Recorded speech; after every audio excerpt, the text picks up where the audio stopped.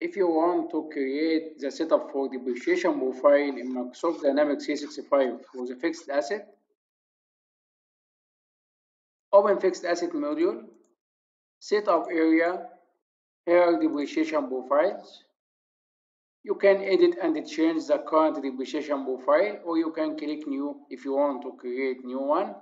For example, the depreciation profile is straight line service life, for example. So here I will write straight line service life for the depreciation method. Here's in this general here what is the method for depreciation. According to the depreciation, you can name the depreciation profile. I will select straight line service life. Depreciation calendar physical by default calendar.